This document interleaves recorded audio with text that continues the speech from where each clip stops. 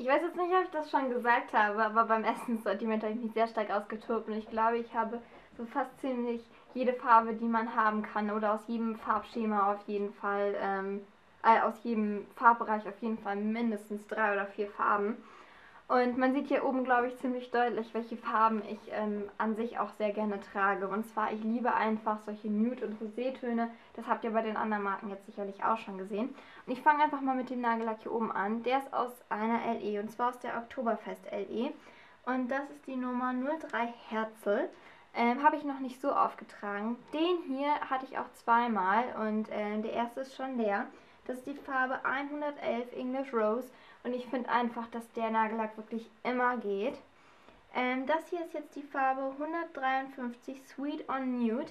Und das ist ein Dupe zu einem Essensnagellack, den es schon mal gab. Und zwar den Iced Strawberry Cream, den ich verzweifelt äh, vermisst habe, als er aus dem Sortiment genommen wurde.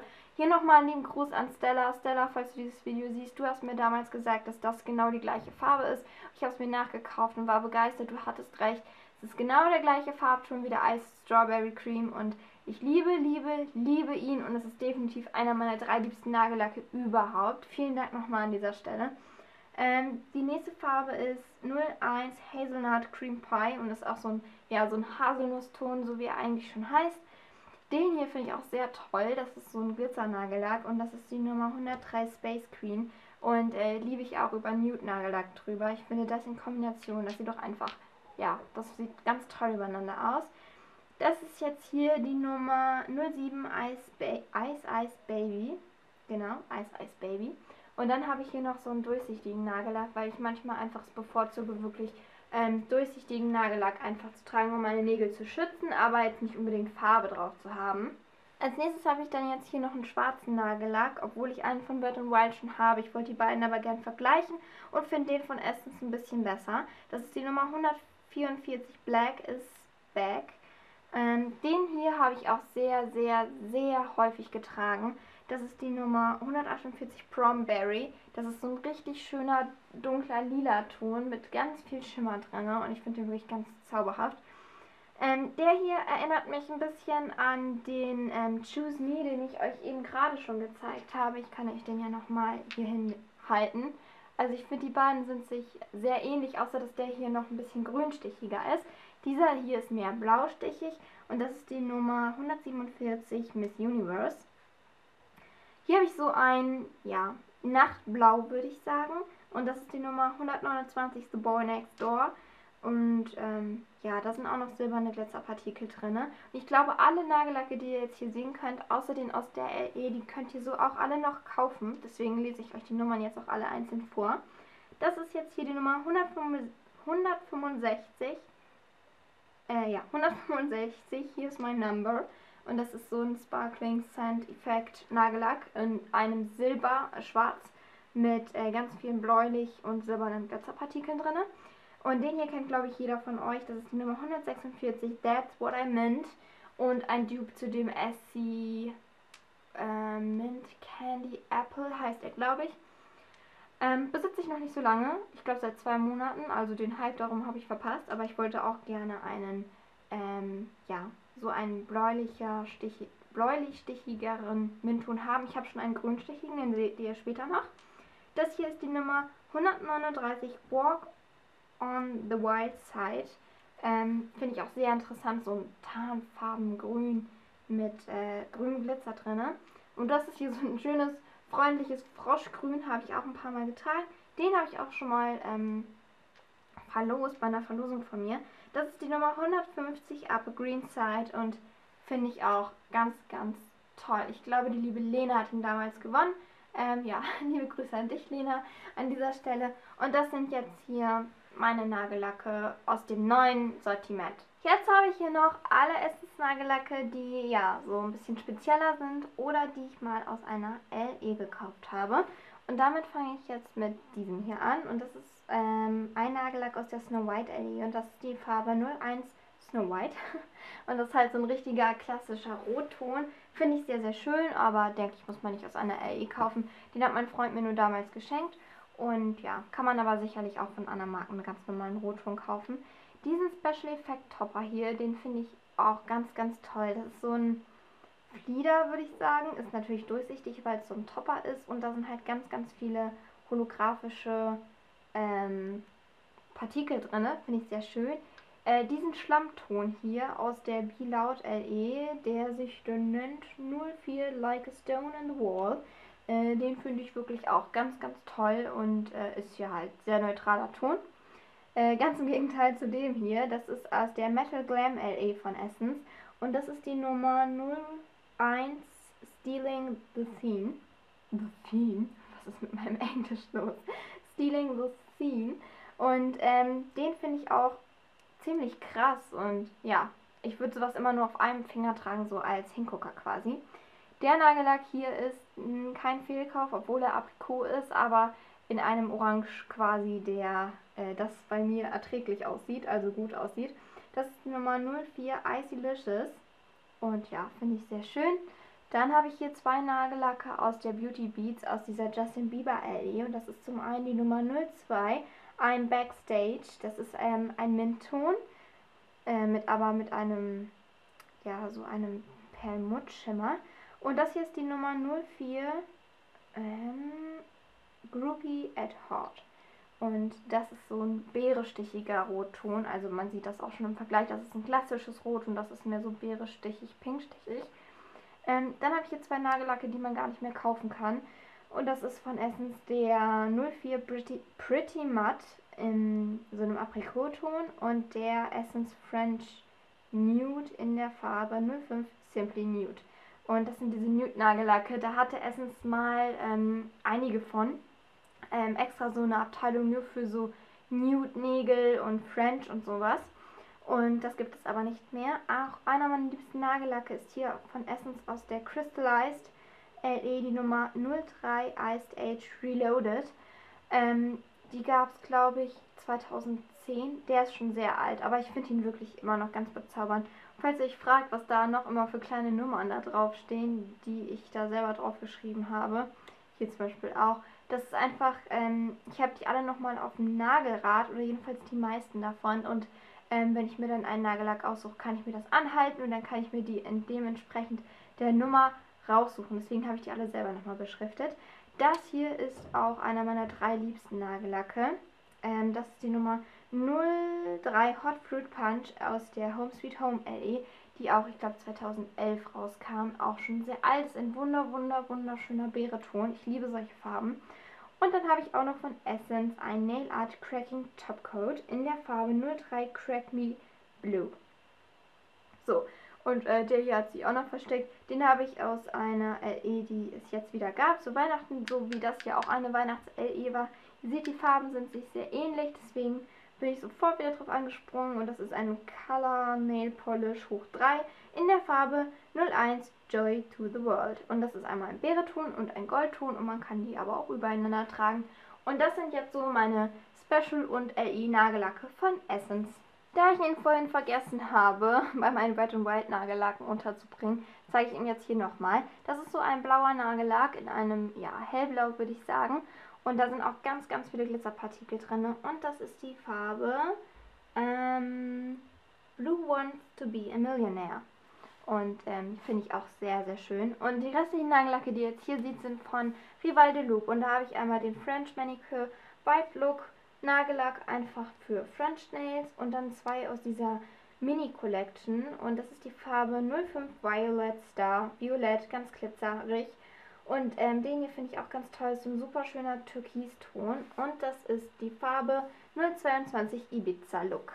Und den hier habe ich auch mal aus einer LE gekauft und das ist so ein ja, bronzefarbener Goldton, irgendwie so gemixt aus der Sparkling Nights LE. Und das ist jetzt hier die Nummer 01 Be Famous. Und das war es dann auch schon mit meinen Rivaldo Loop Nagellacken. Davon habe ich nämlich nicht so viele. Das sind jetzt meine Nagellacke, die ich noch in ja, unterschiedliche Kategorien einordnen müsste, um sie zu zeigen. Deswegen, äh, also aufzuteilen würde hier keinen Sinn machen, weil es einfach so viele unterschiedliche Marken sind. Und deswegen fange ich einfach mal an. Dieser wunderschöne Fliederton, den ich auch sehr, sehr gerne trage, den habe ich von der Mutter von meinem Freund geschenkt bekommen, von den Eltern von meinem Freund. Der ist von Lacura Beauty. Das könnt ihr bei Aldi kaufen. Und den finde ich wirklich schön und ich kann ihn auch nur von der Haltbarkeit empfehlen. Ähm, dieser Roséton ist von Hema, hat auch keine Farbbezeichnung. Ähm, dieser Türkiston, den habe ich zuerst gehabt, bevor ich mir den von Essence gekauft habe. Den habe ich geschenkt bekommen von meiner besten Freundin. Und das ist die Farbe 602 Pearl de Jade. Ich weiß nicht, ob ich das richtig ausspreche.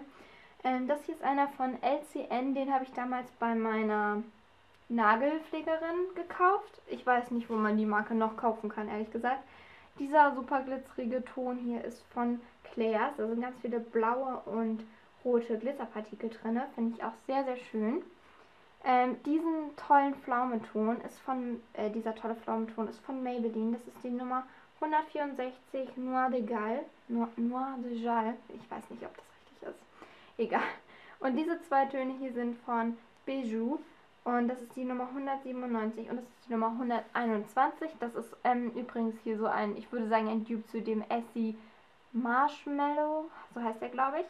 Und diese zwei ganz wunderbaren Nagellacke, dieses super knallige Neonrot und dieser äh, ganz besondere Türkiston mit so einem Schimmer drin. Ich glaube, ihr könnt das sehen. Ähm, der changiert so ein bisschen. Die sind beide von Primark und sind mit einem Perlenset gekommen, was ich euch gleich noch zeigen werde. Dann habe ich jetzt nochmal meine ganzen Über- und äh, Special-Lacke quasi für euch. Dann habe ich hier von Essence den Studio Nails Pro White Rose Rosé Unterlack. Finde ich sehr gut. Genauso wie den Essence Studio Nail 24-7 Nail Base. Die kaufe ich mir eigentlich immer nach. Den habe ich mal ähm, aus Versehen gekauft, aber finde ich auch sehr gut.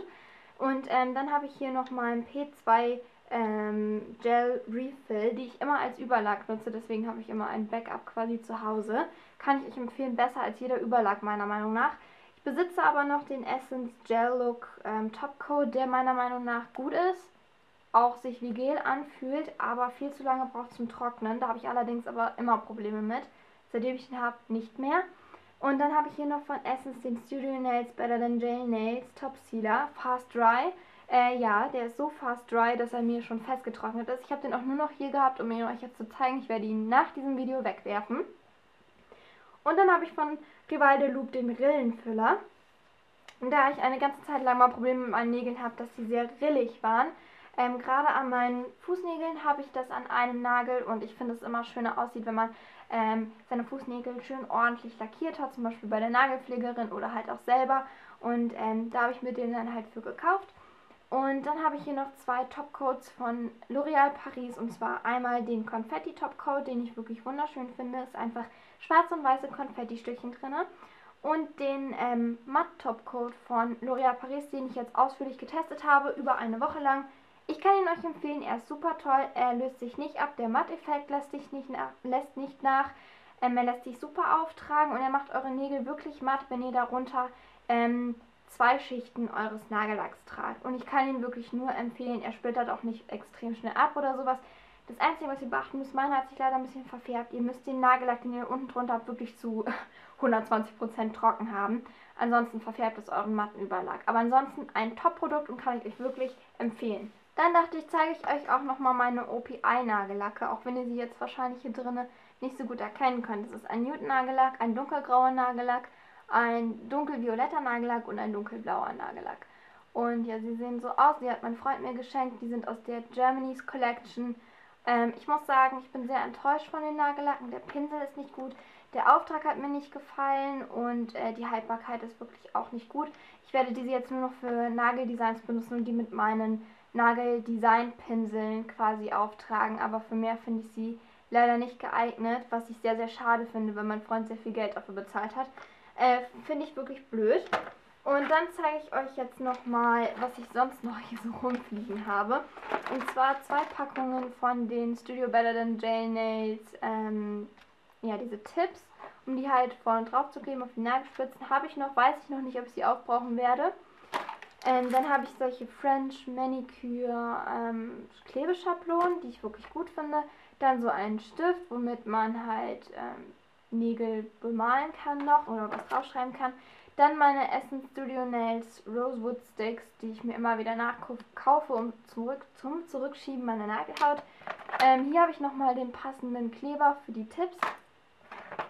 Dann habe ich äh, mehrere, das ist jetzt nur ein Beispiel, mehrere dieser Schablonen und den passenden Abzieher für Nageldesigns und den Stempel. Dazu habe ich natürlich auch noch. Ähm, das sind die beiden Perlen von Primark, die ich eben gerade schon erwähnt habe. Finde ich super gut. Ein Set mit solchen Perlen kostet dort, glaube ich, 2,50 Euro. Dann kriegt ihr solche Perlen und einen passenden Nagellack dazu. Hier diese Nails, habe äh, diese ja, diese Perlen von Essence habe ich auch noch. Das ist, glaube ich, irgendwas mit. Steht die Farbbezeichnung drauf? Nein, steht leider nicht drauf, aber irgendwas mit Candy Shop heißen die, glaube ich. Müsst ihr einfach mal schauen. Dann habe ich hier noch so einen Essence ähm, Painter. Und äh, für meine Nagelpflege habe ich drei solcher Öldinger. Und zwar kann ich euch die einfach mal einzeln zeigen. Das ist von P2 der ähm, Nail Wax, Wax, wie auch immer. Ähm, sieht so aus, ist halt zum Eincremen des Nagelbetts. Dann habe ich als nächstes von P2 das gelbe antiseptische Nagelhautpflegeöl. Ähm, kann ich auch nur empfehlen, ist auch richtig gut. Und zuletzt von Essence das Caring Nail Oil, die Nagelpfle das Nagelpflegeöl, was ich auch einfach nur empfehlen kann. So meine Lieben, ich hoffe jetzt, dass dieses Video euch gefallen hat und wenn das so ist, dann gebt mir doch einen Daumen hoch, wenn ihr ja, sonst noch irgendwelche Sammlungen von mir sehen wollt, schreibt mir das in die Kommentare. Und ich hoffe, ansonsten, ähm, ja, sehen wir uns bei meinem nächsten Video wieder und bis dann alles Gute. Tschüss!